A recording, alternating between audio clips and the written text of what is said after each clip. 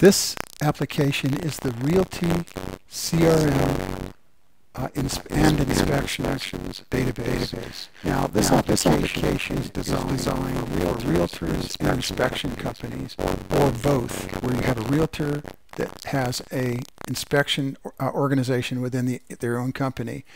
Uh, what is the inspection? The inspection is where when you have a property that is either being managed and people are moving in and out and you're going ahead and inspecting the property, or you have buyers and sellers where you have an activity where the seller is selling the uh, dwelling and you have to do an inspection for the new buyer to ensure that the property is properly uh, organized and set up. Let's go ahead and take a look at the first screen that is uh, having the activity that we're looking at. When you open the application, you're going to be opening to a advanced calendar. And what is that? An advanced calendar allows you to set up users, and in this case I'm going to go down here and I'll show you that there's an administrator, which is the uh, developer. And in this case, I put Joe Realtor in there. I'm going to show you how to change that. But basically, what happens, you can add one or more users into the application to allow you to manage the information that you're using or doing in the application as far as people that would log in. Now, this can either be a single user, like the iOS app that you're using when you buy it on iTunes, or you buy the application outright as a application that works in a free product called FileMaker Go, or you can have the application set up for the Macintosh or Windows or as a cloud user.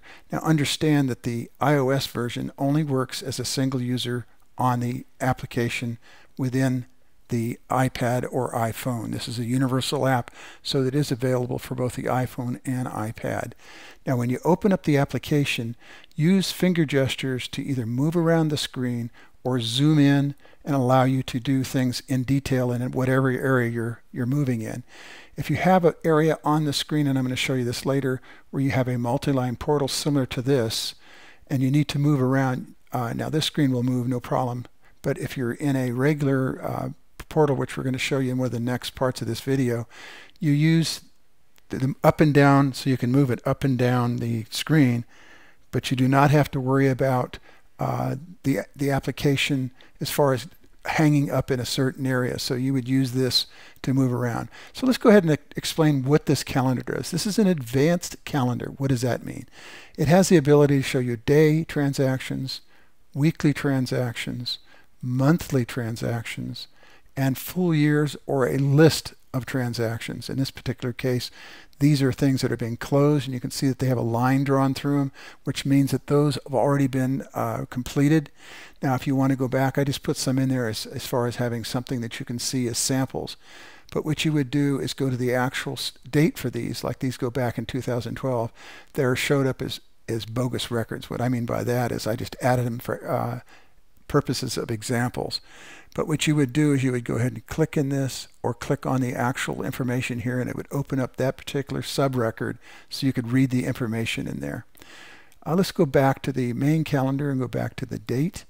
And what I'm going to do is show you the little pieces of how this calendar works. If you want to move up a date or back a date, you use these two arrows here or you click the center button to go to the current date that you're looking at for that particular date within the actual calendar. In this case, I've moved back where I had a record so I can show you how the records actually appear on the screen. And then I'm going to show you how you can actually edit the records if you have an issue with them where they passed the actual appointment date and they were not completed like they were supposed to. That would be in this area over here. You can either click here at the arrow here or you can click on the item right here and it will open up the screen so you can edit that record in that row. There's an area over here where you can delete a record row, but I suggest because this is kind of a business situation that you do not delete records because you need those as information to go back and restore your information or and or look up prior things that you've done and how you completed those items. Uh, if you completed the actual record, you can click here, and what it does, it draws a line through the items that are completed. If you unclick it, it'll go back so you can read the information here. The date is shown for the actual activity of this record, when it starts and when it's uh, due, and I'll show you how you actually edit those records shortly.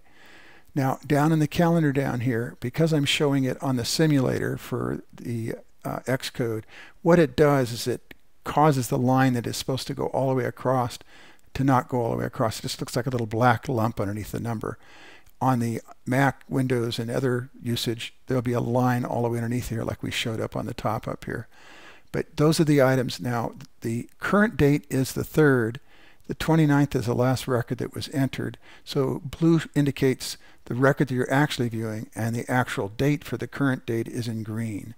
And when you go through, like I said, if you see a little black lump there, those are things that have actual records within the calendar area and calendar dates. Now we said you can show the list, the month or year or week to find the activity that's actually going on because you'll actually see the record in them. So for example, if I go to week, you're going to see it up here. You can also use these to add new records by clicking here, or you can click this to go to the actual record that you're viewing within that area. So there's ways to navigate, and that is true of the weekly. And when I'm in the weekly, you'll see that it's got the atom, that little item down here at the bottom that shows the actual activity for that particular date that you're viewing. If you click over here and there's another one listed over here, it'll change this to that date that's current for that particular date that you highlighted. So it's easy to move around. You can also access the uh, secondary record, the sub record, by clicking here or clicking here or you can add a new daily record and that should take you to the daily record to add it when you go to do that. And it has a simulation, the same thing that's on the daily over here where you can uh, edit the record. Now say for example you want to add a new user so that it shows up in the list here. You can have as many users as you want and when you highlight them what will happen when I highlight this one it'll make the data that is not for that particular time or that particular uh, user disappear. You won't see it. So you'll see other information like this is an old record that was not completed. So you can see that there's a record that was hanging out there for Joe Realtor in his record. Down here at the bottom of the screen, I want to show this as universal all the way across the application. If you're moving between fields on a screen, you can click Previous, Next, or you can go to the top record. You can click this to copy a field that you're looking at, or as you add data, of course, just like the iPhone does and iPad does, it'll show you data down here at the bottom that you can select and tap on to add it into the field as the next word being used. Over here, you have an additional thing where you have uh, bold, italic, and underlined, and that allows you, if you're in a field, to change the way the appearance of the text is in that particular field that you're working on. Now, I want to point out that you do not, do not use the plus and minus here that is shown in this screen. That deletes a record and this one adds a record. In this application there are options for you to have the, the, things within the application. There's a do action button like the similar ones up here that are going to be used in order to add, delete, and it only add records where you can see where it says new record within the application on the screen you're viewing. If you don't see where it says new record, do not use these buttons down here or never use these down here. When you get done using this area down here, you would click done and it would go down and you can hide this area by doing the down arrow. I want to point out in here also, if you click on this, you'll see the there it says, that there's 53 records omitted. You navigate backwards and forwards by clicking these arrows and you'll show that it shows the current record is one record in the found set and there's 54 total records. One of one actually is showing. These are administrative records that are hidden from view and you won't be seeing those. If I highlight this and move between the records, it'll allow me to navigate to that record. Depending on which screen you're in, if you've done a find where you're looking for data, you can uh, tap on Show All or Show Omitted or omit a record, and that'll actually function. When they're in gray, it's telling you that it's not in a proper area that you're highlighting to be able to omit a record or show omitted or show all. We'll talk lots more about that in uh, prior or next videos.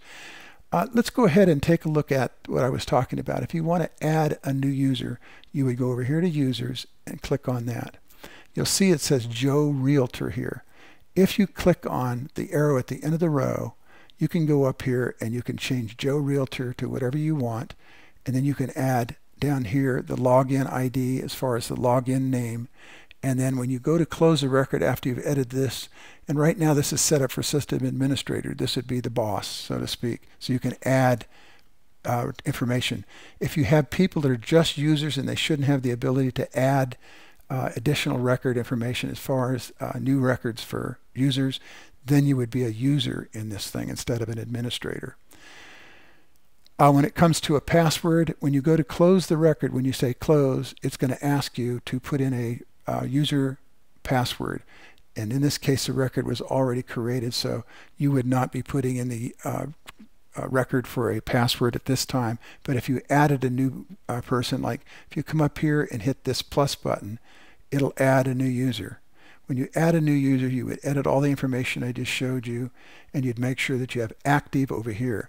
If for whatever if you had a person that, say, for example, was no longer to be using the application, now don't get rid of Joe because that's important. That's the only system administrator. And what you would do is you would just click the red button over here and it would delete that one user. Okay, multi-language. Do not change anything in this screen at all. This is for developer only modification and setup of the application for the calendar. Let's go back to the calendar itself go back to the day date calendar and the day. Now let's go ahead and take a look at going back to the 29th when we had data in the screen. Uh, first of all, we have to go back out of this calendar so we can go back to the administrator because there's no records in the Joe calendar right now. So we'd navigate back and you notice that this is for the 29th. We came back to the record where we were at. Like I said, if you had a item that was in this area and you didn't show it as complete, like this, you'll notice that this will disappear as no longer expired. You either reschedule it or and or you did complete it and it will not show up over in this area as a missed appointment. Now let's talk a little about why you have appointments. In the business of being a realtor or an inspection or whatever, you could add certain things up here in the user bracket that would say that you would have, say for example, inspections, and maybe you'd have a, a showing or everything like etc. that you'd have in here. You could add those as users and create individual calendars that would be set up for that actual date or time. Say, for example, if you wanted to see during the month and you wanted to see all the activity for the, an individual or say one person where just their stuff would show up or inspector or inspections would show up, then that area would be in there. Now you can add whatever calendars you want with usernames and passwords. And that way, when you sign in, you could go to that particular thing, or you could do, say, go to your record. And I'm going to show you here in a second. We're going to go back to the daily calendar. And I'm actually going to go in like I created a record. If I want to click over here, and I'm not going to do that because I already have it set up for one example record, you click this, and what it would do is it would start to add information by popping up a screen, and it would pop up this screen. Now in this screen, what you're doing is you're adding the title for the block you saw on the last screen. In this case, I put test record. Now you can edit this record if you want to. What you would do is back sweep it and put in your information that you want in here. You need to consider, because of the small area on the actual calendar, to keep the data that's going in here so that the information that's most important is to your left. You can add as much data as you want, but you should have just the information that you want that's important on the left-hand side when you're adding a record in here, one of the first things you're going to do is you're going to tell us what it is. Is it an action item? Something you're going to do a callback on somebody. This is you're working with the escrow company or inspection, or you're doing a listing or a meeting, paperwork, reminders, sales, or in this case, showing property. Now you have all these different things that have different icons for to allow you to show that on the calendar so it's obvious when you're looking at the calendar what the icon is for it. In this case, I'm showing property, so I would have a thing, a little loudspeaker in there, because I'm doing something where I'm telling something to somebody. Next thing, there's a priority. This would be the top priority, intermediate priority, and low priority. If you click on those, these will actually show up in the actual calendar so you can see if they're high priority or not. The next thing is setting up a date. There's a drop-down calendar that will pop up where you can actually put the start date of an activity and you can have a single day. If you have a single day, this information would be the same on both fields. If it's going to be over a span of time, two, three days, say like for example, it's doing an inspection, you could go ahead and add a different date down here that would be the end date. And over here, if there's a start and an end time for that, like it starts on AM uh, 8 o'clock and then it ends at say 11 o'clock on the last date, then that would go in there. Estimated hours, you could put that in there if you're doing an inspection and you, the total amount of hours it should be used would be, say, for example, eight hours, for example. You'd put the eight in there, and we'll talk about how that is actually shown in a slide graph on the page. When you add that, it'll actually put how much you've actually completed based on the information you add. Over here also, there's a little plus thing that you can click to add a new field in this area, and you have different things that you can add in here, for example. As a realtor, it's kind of important to understand your clients if they have a birthday, an anniversary, or other things that are important that you want to notify them about or send him a card and stuff like that. It's just good salesmanship to know a lot of things about your client. Hence the CRM, customer relationship management, where you're taking in information and you're putting it in your database so you can use it later. In this case, there may be an inspection that's due, or escrow start or close, an inspection start or done, or you can edit the list to add new items. And you can also put a little comment on this side, or you can just clear the row by clearing this. Down here on the bottom, when you're looking at the actual title for this, it is related to a client or an activity. In this particular case, even the activity is related to a client. For example, if we're doing inspection and we need to have the person for the inspection in the record so we know who it is, we would come down here and I only have four clients in here that I made up except for myself. And I made up these so that we could use them as examples in the actual database. You can overwrite these and I'm going to show you how to do that later. But basically, if you click on another one, it's going to change it and it's also going to change this over here.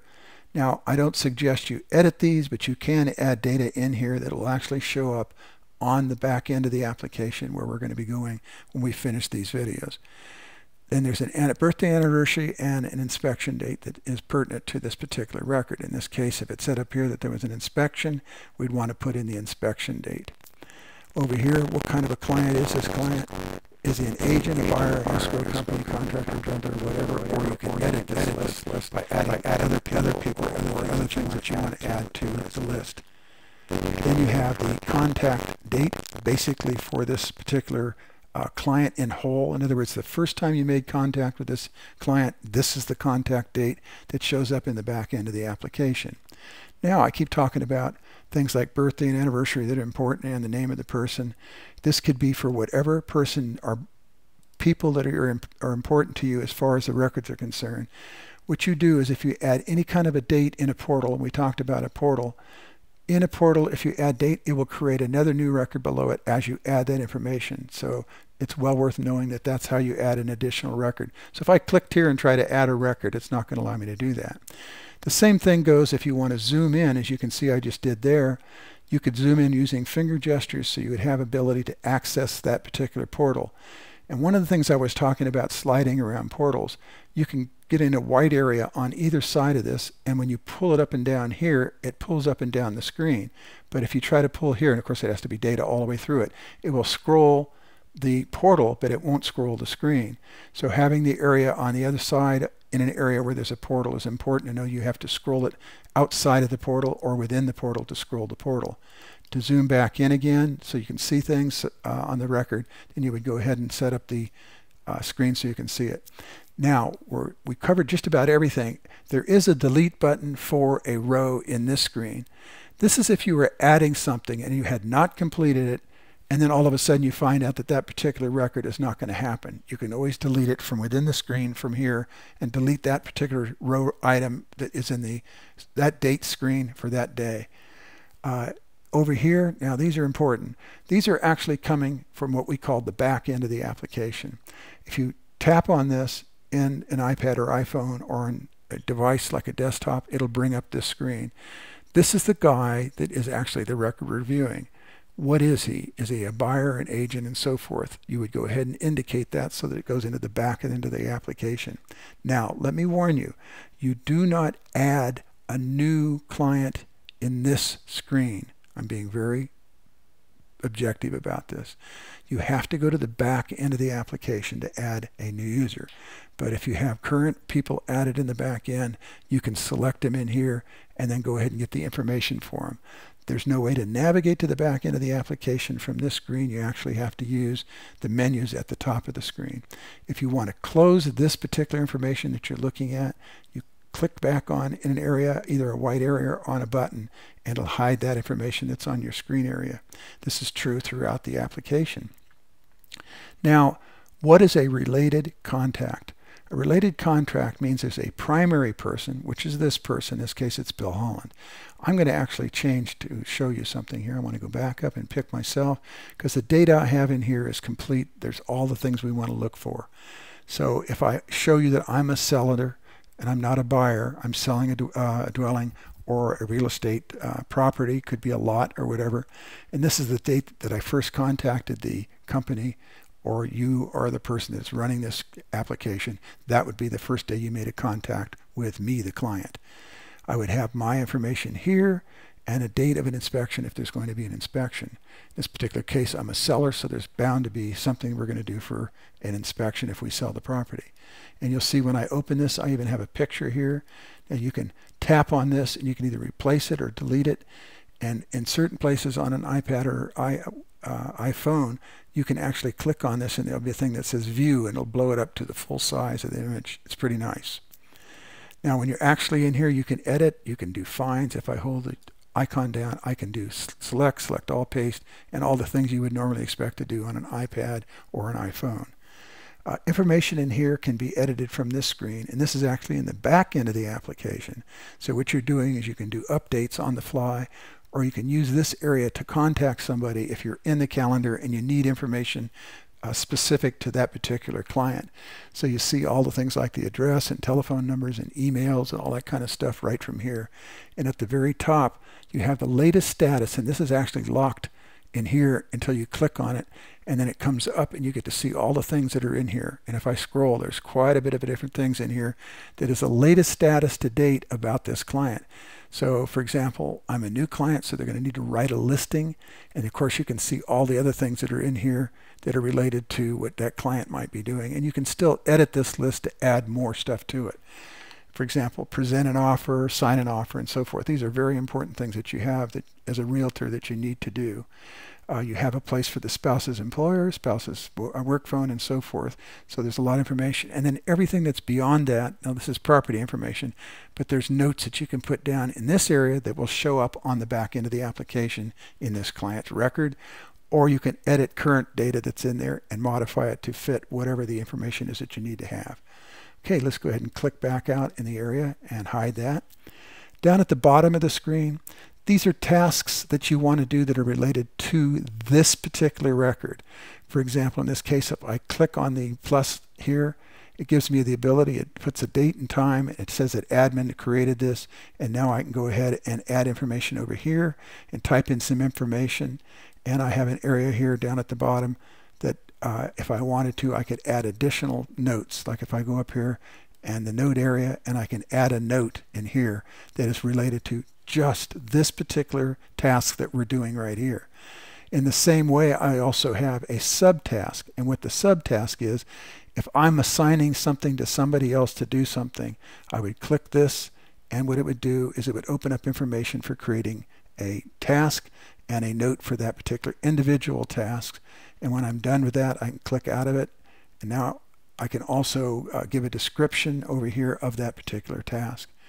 Okay, in this case, every time you add a task, it's going to put a number here so you can see that there's a number of tasks on the tab that show that there are things that need to be done or will be done. In this case, I need to go back and pick myself so that I have the information in there, and that's related to the information that's in here. Now, uh, I'm just going to recap a little bit so that now that I've created a subtask, I have a subtask that's showing I can go back to the record test and it'll come back to the record text. So now you see that we have information that's down here that's related to the current activity that's going on in the in this area.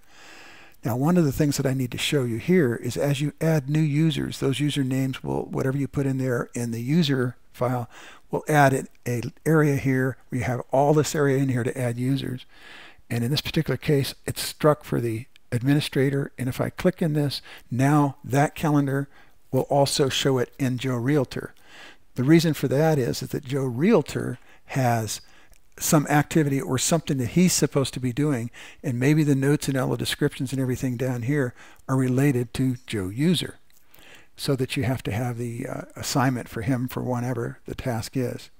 Now in this particular case, I'm going to go ahead and move out of here and I'm going to go back and by closing this I'm going to be closing this screen so that there will not be a uh, any more information that we have to do here. So I'm going to close that and I'm coming back out to this screen and you'll see that it stayed the same. The date, in this case I didn't put any times in there so the times are blank. If I put a date and a date and a time and a time, like a start and end time for a particular date, that will show. Notice we have the priority, we have the person that put it in, and every, new record will get a new number and it will tell how many you use. And like I said, if you want to re-enter the record, either click here or click here. Now, down at the bottom, it has a profile.